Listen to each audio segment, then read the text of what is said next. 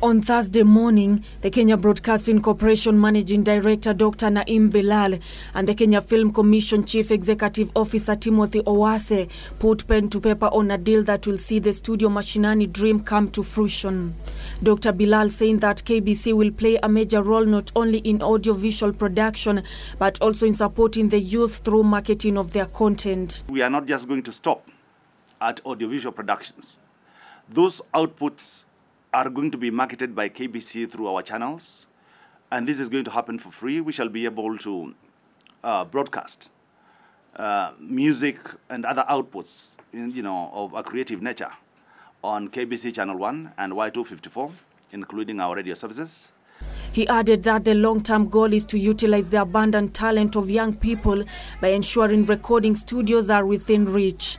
We have um, established so far five studios in various parts of the country. And the ultimate goal is to have a studio in each and every county.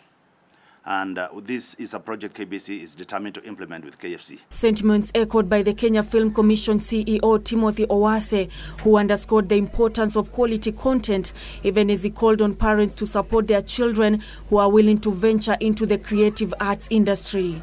As you are all aware, content is king and the future of employment is in the creative uh, industries. So let us create this avenue, provide opportunities, and encourage more creative talent to participate in this particular sector. Nancy Okware, Channel 1 News.